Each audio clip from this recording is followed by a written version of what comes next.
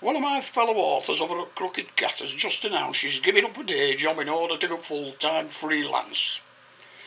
Brave decision, but it's one I'm sure she won't regret. It calls to mind the day I gave up working for other people. Mind you, that was less a decision to go it alone and more retirement through ill health. It was the right thing to do.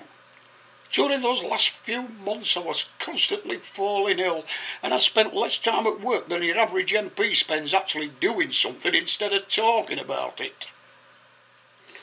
When I made the decision and asked the boss, he was very sympathetic and got the ball rolling. Four days later I was retired. Four days? I'm not saying they wanted rid of me, and to be fair, they did throw a big party in my honour. But that was two days after I'd finished and the rotten sods didn't even invite me.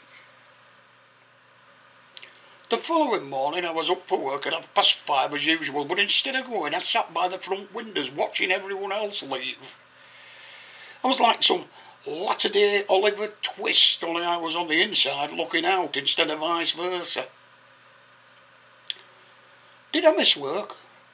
Yes, in the same way that I miss a toothache after a visit to the dentist.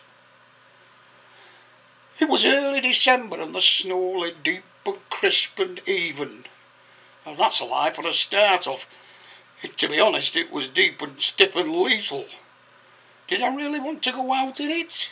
Not likely. At least no further than the shops for a loaf of bread and something to smoke, and at a pinch if I could manage until mid-morning I could send her indoors. She'd been retired two years at the time and she was more experienced at it than me. That was five years ago, and even now there are times when I miss work. These days I hang around the house doing very little.